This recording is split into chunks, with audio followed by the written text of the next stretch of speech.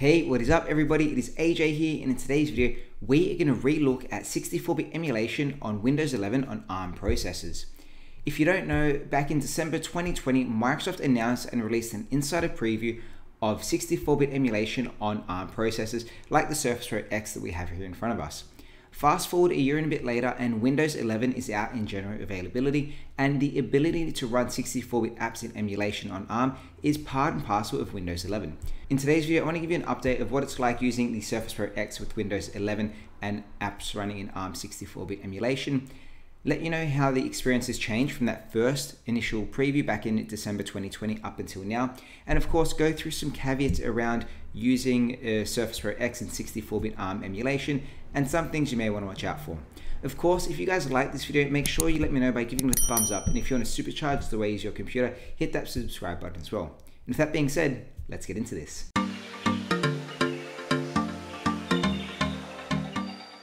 I want to let you know from the start of this video that for the most part, Microsoft have done it.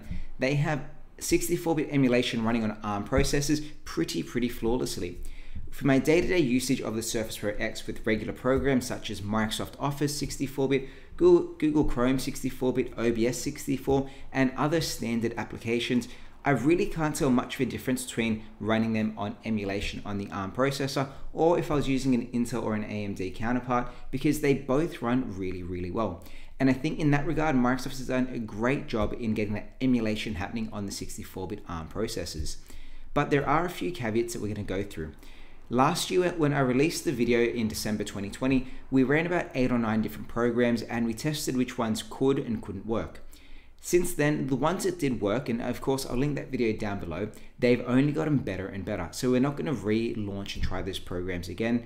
Um, but just know the standard applications that most people use, like Office and Chrome and things like that, they work really well on the ARM processor with Windows 11. What we want to relook at today is some of the programs that actually didn't work in December 2020 and see if in that general availability of Windows 11 and 64-bit emulation, if there's been much of an improvement. The three programs we are going to focus on today is NZXT Cam, the Xbox app, which for some strange reason really worked terribly or didn't really work on the original build, and of course DaVinci Resolve, because I think DaVinci Resolve gives a really great indication of how well or how not so well the 64-bit emulation works when it requires GPU uh, processing power.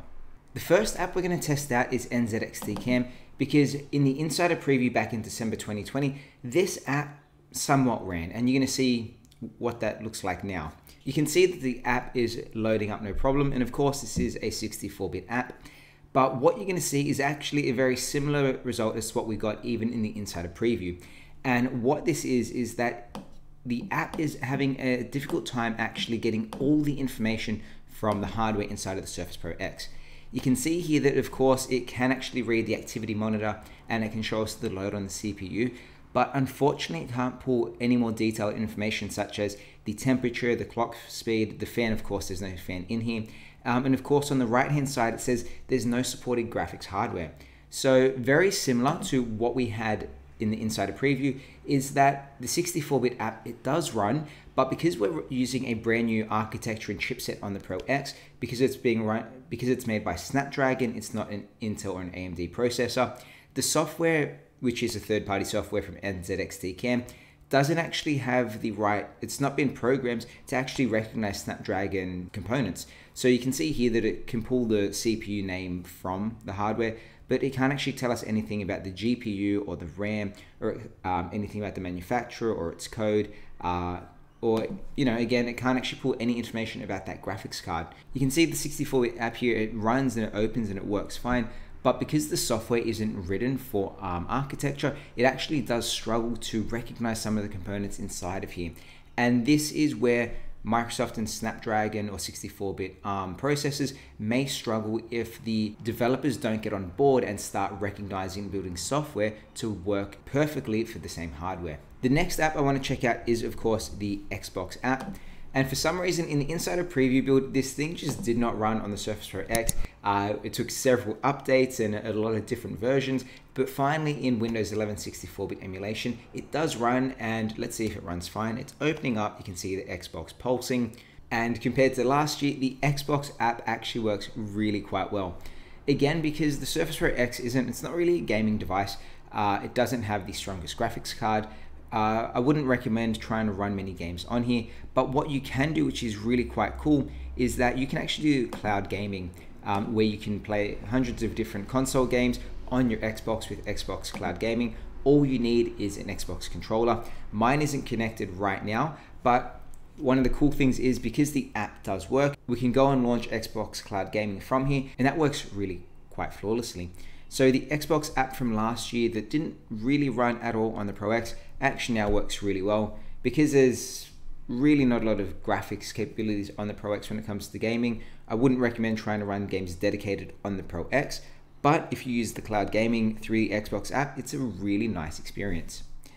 And I think the last app that I want to check out right now is DaVinci Resolve because this is the app of the program that I was most excited about on the Surface Pro X just to see how and if we could do any video editing on the go with the Pro X because it is a really light and thin and portable device.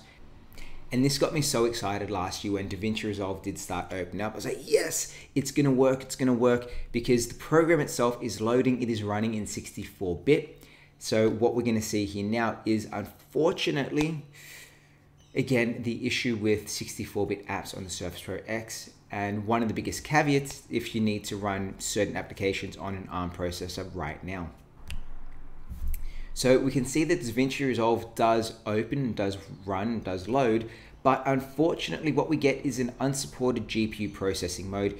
If we go into the update configuration option on here, and we go over to the memory and GPU section, you can see that DaVinci Resolve does recognize all the RAM that we have. Of course, it is running the program is opened up using the CPU, the Snapdragon SQ1, but the issue is under GPU configuration, it cannot recognize the Snapdragon GPU inside of here, and therefore it won't let the program open. And that brings me to the biggest caveat when running 64-bit apps on the Surface Pro X. If you're using standard applications on the Surface Pro X, again, things like Microsoft Office, Google Chrome 64-bit, standard applications that just use the CPU, they are for the most part going to run and going to run flawlessly. Like I said, I've had no real discernible difference between running them on the Surface Pro X and running them on an Intel machine. However, if you do run programs that require access to the GPU, like NZXT Cam showed us and like DaVinci Resolve also showed us, because the architecture and the actual physical hardware inside of here isn't from Intel, AMD, or NVIDIA, the program and the software, if they're not coded and written for ARM on Windows 11, it most likely won't actually run because it can't recognize that GPU inside of it. And that I think is right now the biggest caveat to running applications on Windows 11 if you're using a 64-bit ARM processor.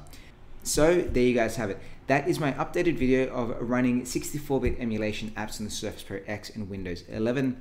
My overall thoughts are that for my daily driver and my regular PC usage, the Surface Pro X is still an awesome, amazing machine because it runs all the programs that I use day to day, such as web browsing and my Office suite. And really, the package that this comes with is it's a thin, light, portable LTE connected device, and as a daily driver, I find it amazing. Of course, if you are looking at this thing for some of those graphic intense programs, you may want to reconsider something else because as we've shown that even though 64-bit applications do run, there is still that disconnect between a lot of those third-party software and not being able to understand the architecture of the Snapdragon processor that the Surface Pro X currently has. If you are, of course, looking at getting a Surface Pro X, I would recommend also checking out the new Surface Pro 8 because that has taken the beautiful same design as the Surface Pro X, but it has an 11th gen Intel processor, a 120Hz refresh screen, so an even better screen. It uses the new Surface Slim Pen 2, and of course, it's built on Intel 11th gen, which means you're running traditional x86 programs. And of course, if you need an external or GPU powered device. The Surface Pro 8 also comes with Thunderbolt 4, which allows you to plug in dedicated GPUs. If you are looking at getting a new device and you don't think you need any GPU intensive programs, I still think the Surface Pro X is an awesome, awesome machine. And with Windows 11, I think it's even better than what it was like in Windows 10. But I would recommend that maybe weigh up the Surface Pro X versus Surface Pro 8 because design wise, they look almost identical, but they do have pros and cons to both. So there you guys have it. That is my update on the Surface Pro X. I hope you guys did find this video useful and informative. If you did, let me know by giving it a thumbs up. And of course, if you want to supercharge the way you use your computer, hit that subscribe button as well. Thanks for watching and we'll see you next time. Bye.